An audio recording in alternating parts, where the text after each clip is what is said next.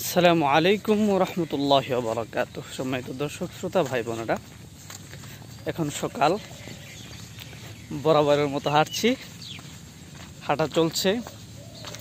আজকের সকালটা একটু কুয়াশাময় কুয়াশার আবরণ আছে। এতে বোঝা যাচ্ছে যে শীতের আগমন ঘটছে। যে আমরা শীতের সাথে সাক্ষাৎ করব এবং কঠিন শীত আসবে। আর শীত যখন কঠিনভাবে আসবে, তখন আমাদের স্টাইল বেড়ে যাবে। আমরা অনেক স্টাইলিশ জামা পরব এবং অনেক ফ্যাশন আমাদের হবে।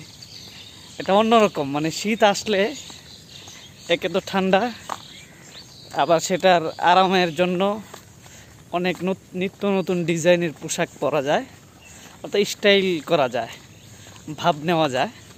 তা আমরা ইনশাল্লাহ সামনে ভাব নেব, প্রস্তুতি চলছে। আর শীত আমাদেরকে সেই সুযোগটা করে দেয় যে আমরা যেন ভালোভাবে ভাব নিতে পারি এবং খুব সুন্দরভাবে আমরা যেন, ওয়ালাইকুম আসসালাম রহমতুল্লাহ আমরা যেন নতুন নতুন পোশাক বানাতে পারি। দামি দামি ব্লেজার যেন আমরা বানাতে পারি। স্টাইলিশ রুমাল যেন, কাশ্মীরি রুমাল যেন আমরা কিনতে পারি। তারপরে চমৎকার ডিজাইনের লম্বা লম্বা জুব্বা যেন আমরা বানাতে পারি। সেই বার্তা কিন্তু শীতে আমাদেরকে দেয় এবং সেই সুযোগ কিন্তু শীত আমাদেরকে করে দেয়। এজন্য শীতকাল যে আসছে, সেই শীতকালকে স্বাগতম জানাই। যারা সকালবেলা হাঁটেন না, বলব যে সকালবেলা হাঁটেন। কারণ এটা অত্যন্ত উপকারী একটা সময় এবং এই সময়ের হাওয়া যদি আপনি আপনার গায়ে লাগান তাহলে বরাবরই বলে থাকি যে এটা হাজারো রোগের দাওয়া হাঁটতে পারেন। তো আমি এখন মসজিদ থেকে হেঁটে হেঁটে সোজা চলে যাচ্ছি খাগান বাজার। সেখান থেকে আবার হাঁটবো, সোজা চলে যাব দত্তপাড়া কেন্দ্রীয় মসজিদে। তার মানে বিশাল হাঁটা এটা, অনেক লম্বা হাঁটা। তো আমার সাথে আপনারা হাঁটতে পারেন। এবং শীতকালীন যে সময় আসছে এবং রানিং এক প্রকার শুরুই হয়ে গেছে ধরতে গেলে। তো এই সময়ে কিন্তু সকালে হাঁটতে পারলে আরও ভালো।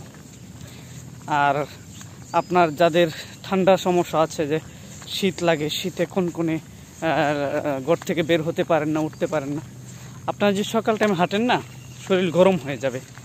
তখন কিন্তু আপনার মানে এই যে শীত শীত ভাব, এটা কিন্তু আর থাকবে না। তো প্রজেক্টের ভিতরে হাঁটছি, আসলে মডেল টাউন দেখতে পাচ্ছেন, পিছনে কুয়াশা।